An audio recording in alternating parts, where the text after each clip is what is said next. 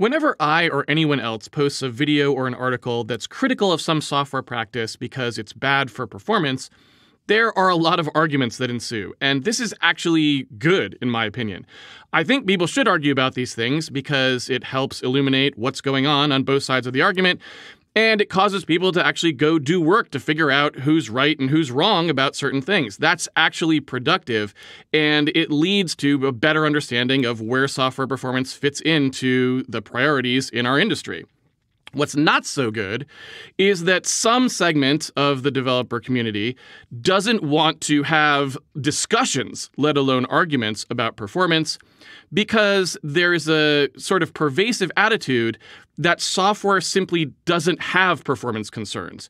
We are past the point in software development history where anyone really should be thinking about performance. So, whatever else it is that you wanted to do, whatever the programming practice it was that you like, even if people are presenting ironclad evidence, which is hard to come by, but let's suppose you did ironclad evidence this was a bad idea for performance, you'd still just dismiss that because it doesn't matter, right? Software performance doesn't matter.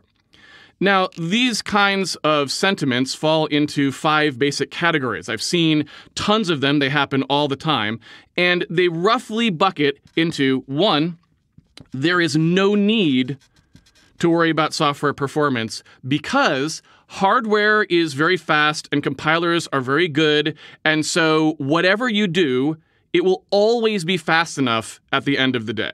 If you pick the slowest possible language, whatever that is, and write with the slowest possible libraries, using the slowest possible architectural decisions, if those were better for you because you liked them better or thought they had better properties for some other reason, it will be fine. The end result will still run plenty fast enough because computers are just that fast. Number two is a different idea. It's saying that, okay, maybe there is a difference to be had, meaning we do know that if we were to pick, you know, a particular language, it might be slower than some other language we could pick. Or maybe this particular architectural style is in fact slower than this other one. But it's always too small to matter. It's going to be like a 10% difference in total or something like that. And we can always live with a 10% difference. Okay? Number three is that it's not worth it. Now, this idea is financial. It's essentially saying that we're a business, right? It probably isn't something that like an open source developer would say, but you know, we're a business and we're doing things based on our bottom line. And it simply isn't worth it for us to have better performance, even if it's not too small, even if it there is a need for it we'd always be better off doing something else. If our version 1 is slow, our version 2 doesn't have to worry about making it faster. Instead, we can just focus on adding new features or even just creating new pieces of software because that will be more financially beneficial to us than to actually fix the performance of our software product we have. Number 4 is that okay, you know, maybe none of those three are true. But performance is a niche concern it only matters in very small segments of the industry. So, okay, I admit a game engine developer has to care, an embedded systems developer has to care. Nobody else does. Web front end, definitely not. Back end, just buy more servers, whatever. It doesn't matter. There's only a few small places that you actually have to care about performance, and everyone else doesn't have to care. Finally, number five is that, all right, none of those four, I agree. It matters for everyone. It is worth it to your bottom line. The gains aren't too small. There is a need for it, yes, but basically no one has to care except a few specific programmers on any given team because no matter what all the rest of the programmers do, all of the performance problems of a product will always automatically be concentrated in a few small hotspots, and then the performance experts just go rewrite those hotspots, and then the thing is as fast as it needs to be. So we don't really ever have to care. An average software developer in an average job position, whatever the common case is, they don't have to care about performance because there's some expert on performance who's going to go deal with the hotspots, and it's fine.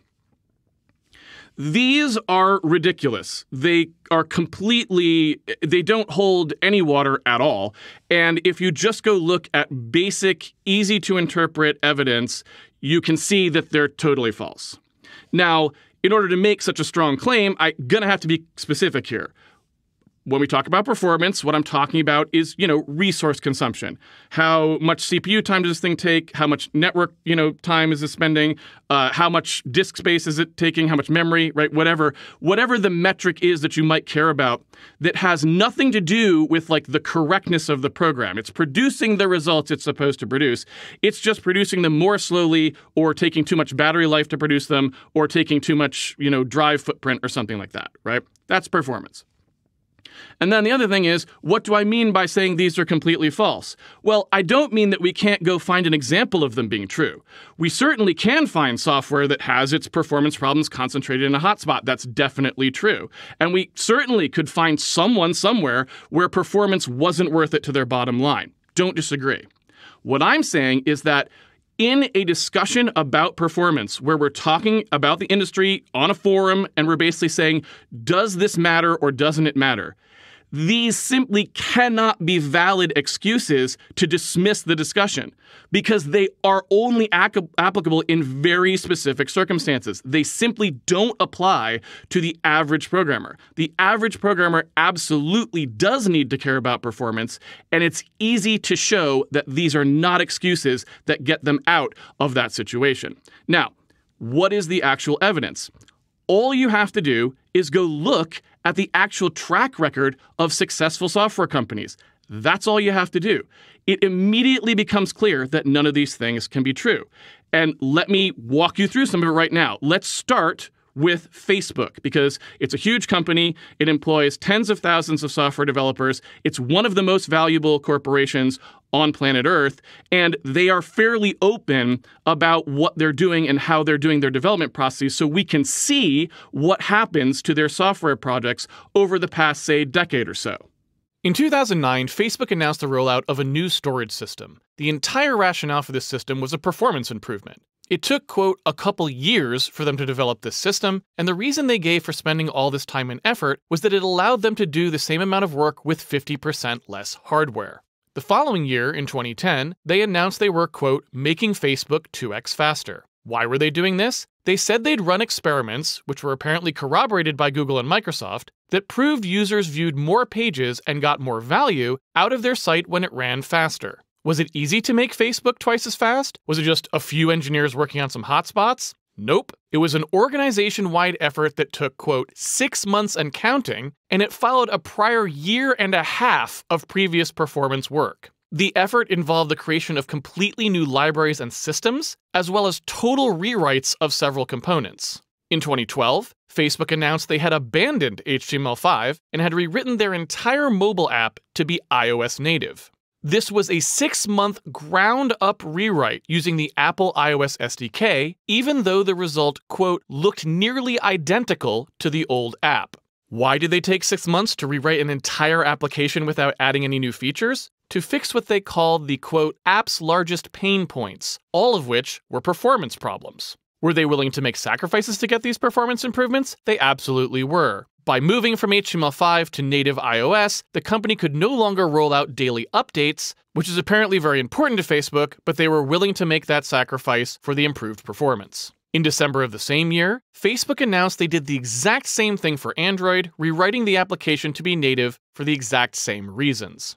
In 2017, Facebook announced a new version of React called React Fiber, this was a complete rewrite of their React framework, which was meant to be API compatible. So why was it necessary? According to Facebook, the main focus was to make it, quote, as responsive as possible, so that apps would, quote, perform very well. In 2018, Facebook published a paper describing how improving the performance of PHP and Hack became a priority for them, and they had to create increasingly more complicated compilers to get their code to run faster. The paper describes a number of techniques employed in the compiler to work around the inherent limitations of these languages that make it difficult for compilers to generate fast code. How much of a performance increase did they get? 21.7%, a percentage which took a quote, huge engineering effort to achieve. In 2020, Facebook announced that it had done another major engineering effort to reduce the footprint of Messenger by 75%. How did they do this? By rewriting the entire application from scratch. How much work did this take? It was apparently a multi year effort and was, quote, an even more vast undertaking than Facebook had anticipated. Why undergo this massive engineering effort to reproduce the same application in a smaller footprint? Because it was, quote, good business to do so.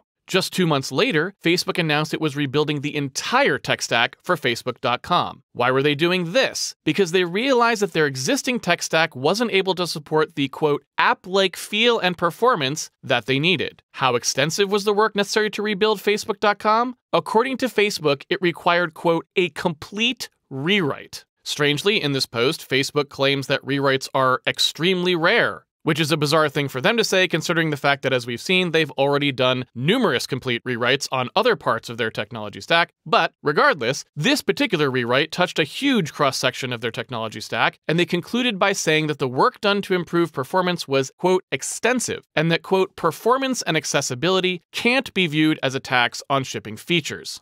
Finally, we have one of my favorite Facebook announcements regarding performance. This post from 2021 announces a new release of the Relay compiler. This was a complete rewrite of the compiler in a completely different language. Why was this rewrite necessary? Because their quote, ability to incrementally eke out performance gains could not keep up with the growth in the number of queries in their codebase. What's so interesting about this announcement is that it's about a performance rewrite for a compiler, but one of the main reasons the compiler exists in the first place is because it's needed to improve the performance of apps written with Relay. Relay without the compiler would be too slow, but the compiler itself was also too slow, so they had to rewrite the compiler. It's the nesting doll of performance rewrite announcements.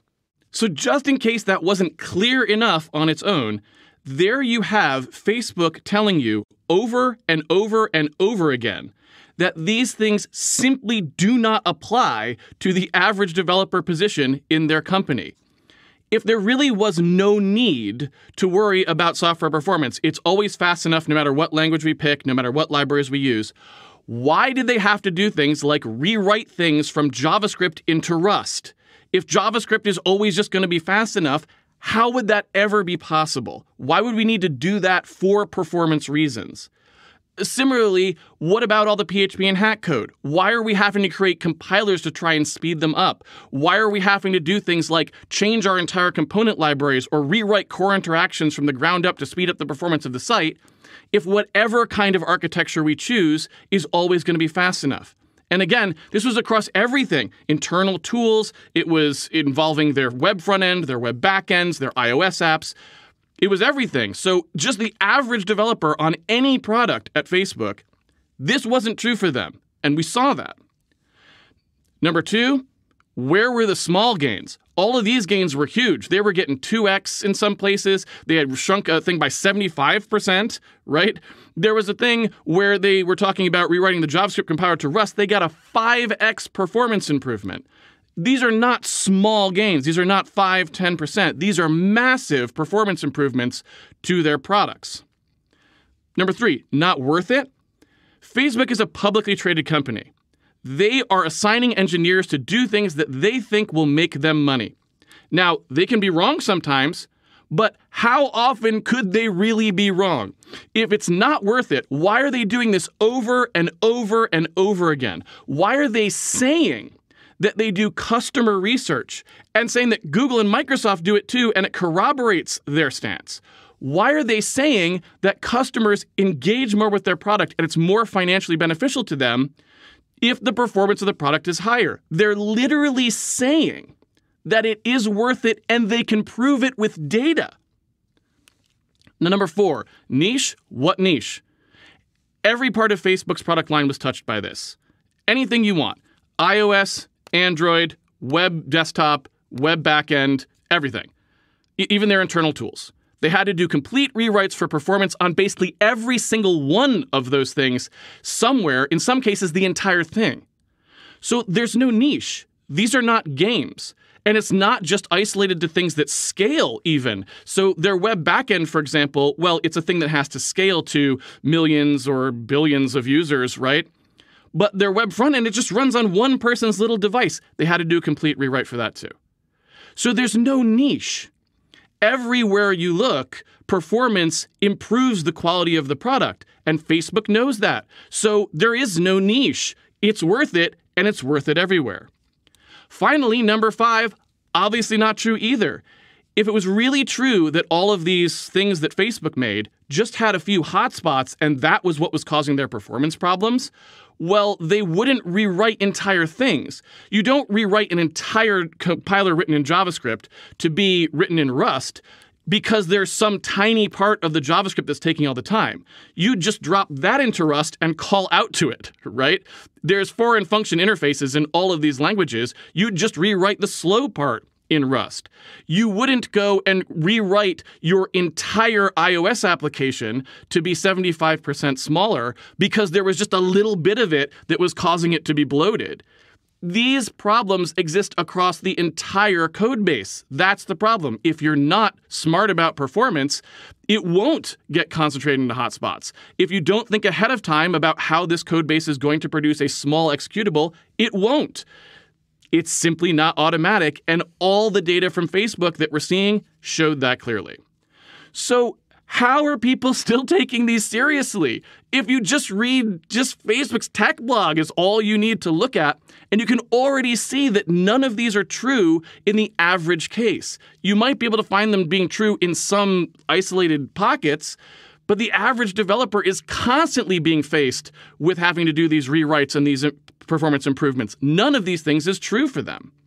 Now, maybe you're saying, well, okay, like, you know, I just, I have a bad opinion of Facebook or something. Like, I just don't like it. Uh, I, I think that they do everything wrong. And, you know, so it's, it's cherry picking to just focus on Facebook. If you were to look at some other company, you wouldn't find this. It's only Facebook. And yeah, okay, they're a very important company and they employ lots of software developers. And maybe if you worked there, you have to stop making these excuses. But everywhere else, you can still make the excuses. Well, I mean, let's see if that that's true.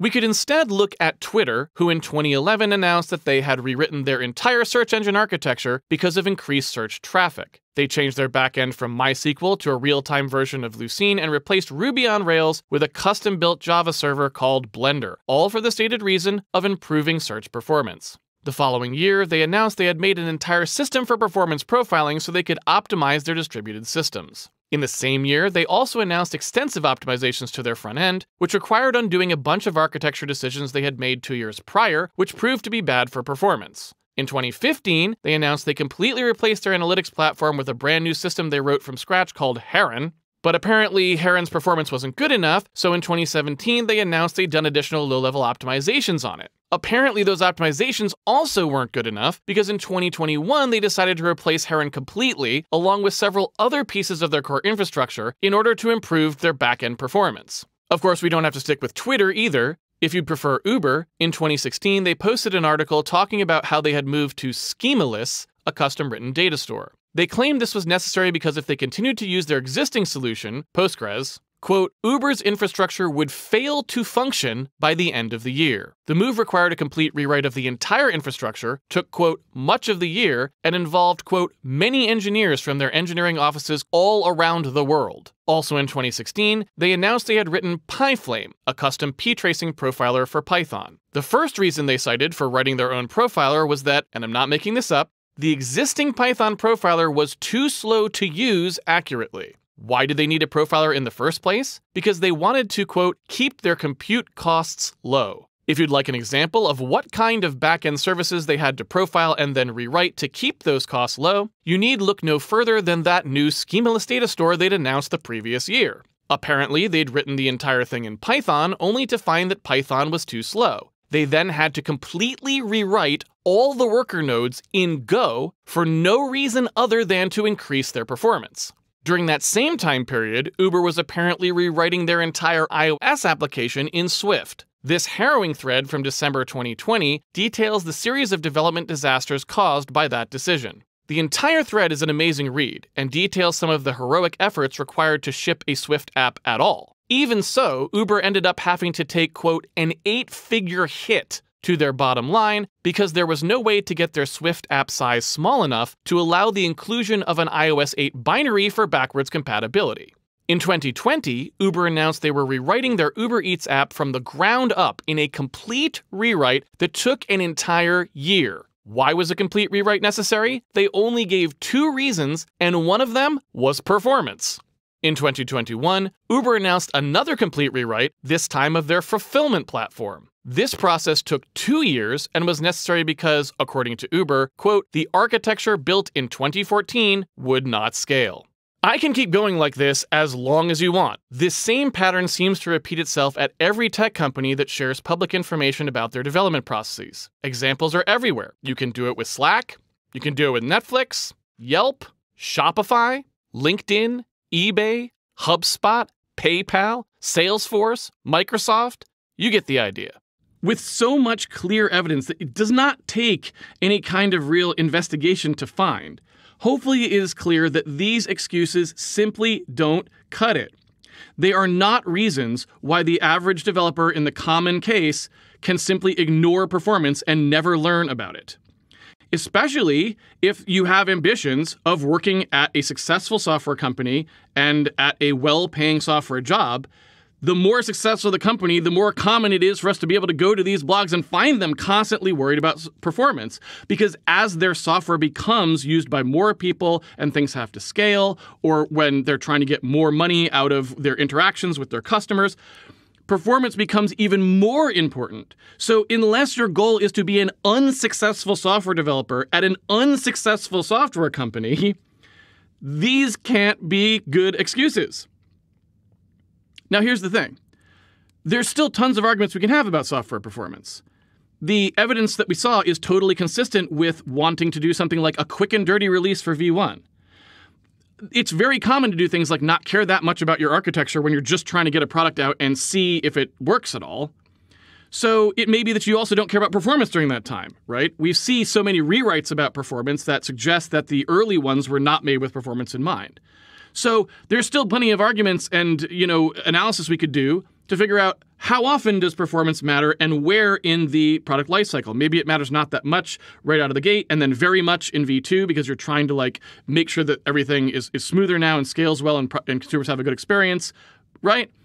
So there's plenty of still discussion about how the concerns get balanced and what kinds of architectures work well for that and, and how much do you need to care in V1 to not really make V2 very painful to get the performance that you want.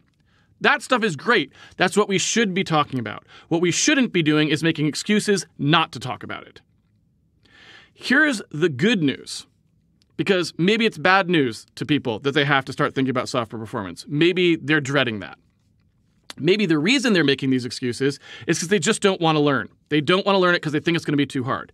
The good news is times have changed.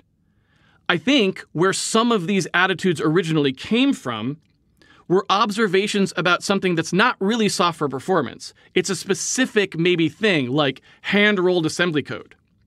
Nobody really hand rolls assembly code anymore that is an incredibly niche, incredibly hotspot thing that there's almost never any need for, and where the difference is very small, and it would be very unlikely to be worth it.